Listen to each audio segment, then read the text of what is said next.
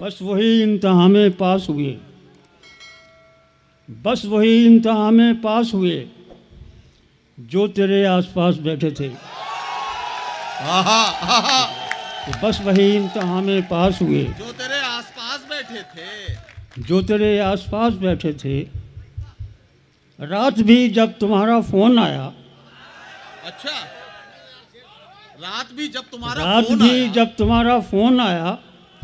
तुम हमारे ही पास बैठे थे। हाँ, चाहतों की जरा सी आहट पर दिल का दरवाज़ा खोल सकता है। इश्क ऐसी जबान है प्यारे जिसको गूँगा भी बोल सकता है। चाहतों की जरा सी आहट पर दिल का दरवाज़ा खोल सकता है। इश्क ऐसी जबान है प्यारे जिसको गूँगा भी बोल सकता है।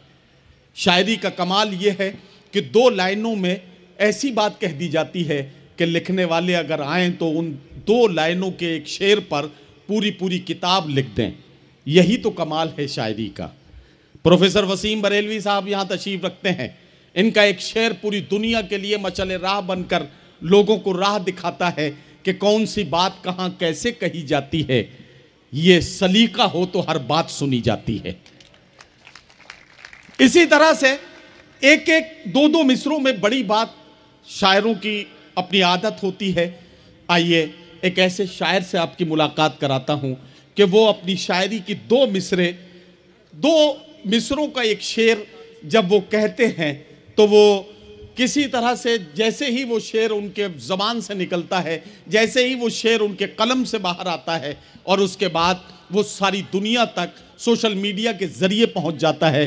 लोग ट्विटर पर, फेसबुक पर, इंस्टा पर या व्हाट्सएप पर, जितने भी प्लेटफार्म सोशल मीडिया के हैं, उन पर जिस तरह से फहमी बदायूनी साहब का कलाम एक दूसरे को शेयर करते हैं यह अपने आप में एक एजाज़ की बात है कि एक शायर जो अ, आसान जबान में बात करता हो लेकिन लोगों के दिलों के जज्बात को इस गहराई के साथ समझता हो कि आप बीती को जग बीती और जग बीती को आप बीती बना सकता हो ये कमाल है जनाब फहमी बदायूनी का।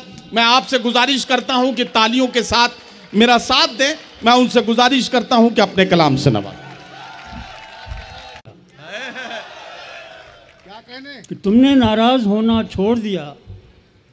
इतनी नाराज़गी भी ठीक नहीं। आ, अरे वाह वाह वाह वाह। तुमने नाराज़ होना छोड़ दिया। इतनी नाराज़गी भी ठीक नहीं। इतनी नाराज़गी भी ठीक नहीं। वाह। शेर देखिए कि जिसको हर वक्त देखता हूँ मैं जिसको हर वक्त देखता हूँ मैं उसको बस एक बार देखा है। वाह जिसको हर वक्त देखता हूँ मैं।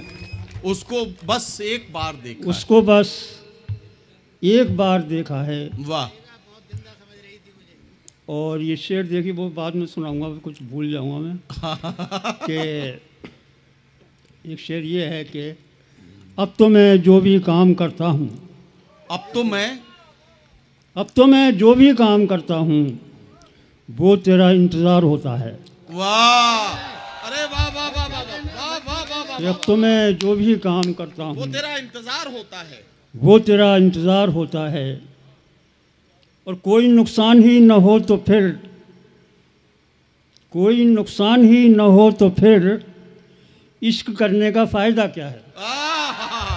अरे वाह वाह वाह कोई नुकसान ही न हो तो फिर इश्क करने का फ़ायदा क्या इश्क करने का फ़ायदा क्या है?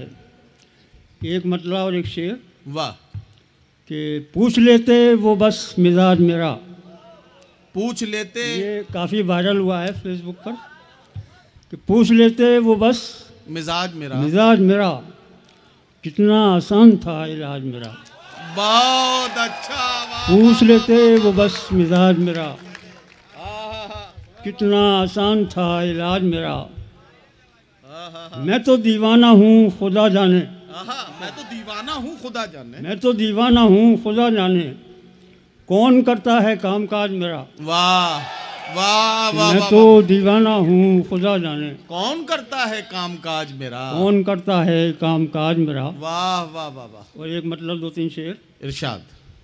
कि हम तेरे गम के पास बैठे थे। अच्छा हम तेरे गम के पास हम तेरे। गम के पास बैठे थे। दूसरे गम उदास बैठे थे। वाह। वाह वाह वाह हम तेरे गम के पास बैठे थे। वाह वाह वाह वाह वाह। दूसरे गम उदास बैठे थे। बस वही इम्तहान में पास हुए।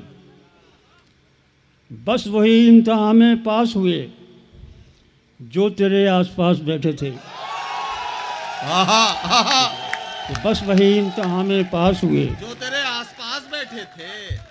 जो तेरे आसपास बैठे थे। रात भी जब तुम्हारा फ़ोन आया। अच्छा।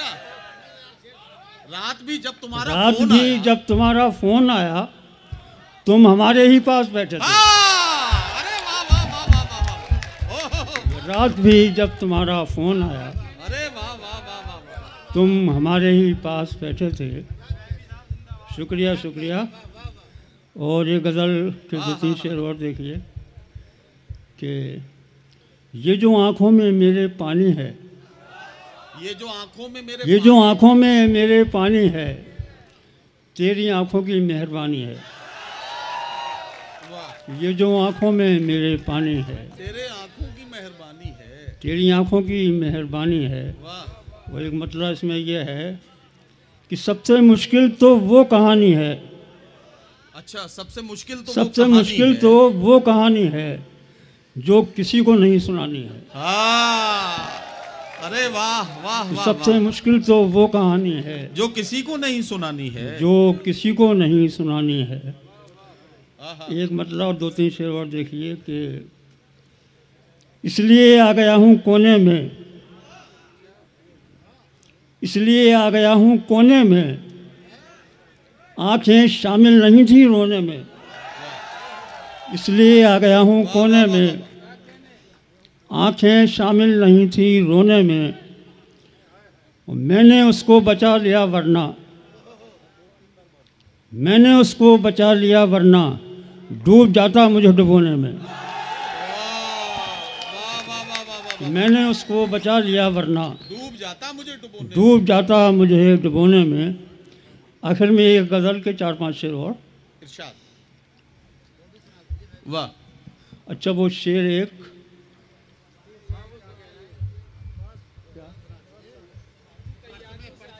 सिर्फ़ अपना समझ रही थी मुझे। अच्छा। सिर्फ़ अपना समझ रही थी मुझे? सिर्फ़ अपना समझ रही थी मुझे। ज़िंदगी क्या समझ रही थी मुझे? वाह। सिर्फ़ अपना समझ रही थी मुझे। ज़िंदगी क्या समझ रही ज़िंदगी क्या समझ रही थी मुझे। पूरी तैयारियों से आई थी। अच्छा। उस्ताद। पूरी तैयारियों से आई थी? पूरी तैयारियों से आई थी। मौत ज़िंदा समझ रही थी मुझे। वाह वाह वाह पूरी तैयारियों से आई थी। वाह वाह वाह वाह मौत ज़िंदा समझ रही फहमी थी साहब फहमी साहब ये जवान आपके इस्तकबाल के लिए आपकी गुलपोशी करने के लिए आए हैं। पूरी तैयारियों से आई। से आई थी। मौत ज़िंदा समझ रही मौत थी ज़िंदा समझ रही थी मुझे। वाह वाह वाह। और एक शेर ये फेसबुक पे मशहूर हुआ इसलिए सुना रहा हूँ। इस चीज़ से माफ़ी। जी जी। कि पर्स करने लगी तलाश मेरा। पर्स करने लगी तलाश मेरा। नर्स मुर्दा समझ रही थी मुझे।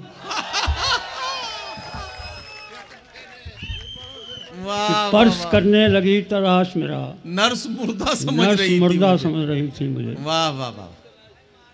ये एक न्यूज़ आई थी अखबार में। वाह। वो गज़ल का मतलब समंदर उल्टा सीधा बोलता है। समंदर उल्टा सीधा बोलता है। समंदर उल्टा सीधा बोलता है। वाह। सलीके से तो प्यासा बोलता है। वाह वाह वाह। समंदर उल्टा सीधा बोलता है। क्या कहना? सलीके से तो प्यासा बोलता है। और एक मतलब और है कि यहाँ तो उसका पैसा बोलता है। क्या कहना? यहाँ तो उसका पैसा, पैसा बोलता, बोलता है, है वहाँ देखेंगे वो क्या बोलता है। वाह वाह वाह वाह वाह वाह। यहाँ तो उसका पैसा बोलता है। वहाँ देखेंगे। वहाँ देखेंगे वो क्या बोलता है? वाह वाह वाह। वो रह जाता है महफिल में अकेला। स्टेज से जो वो रह जाता वो रह जाता है महफिल में अकेला।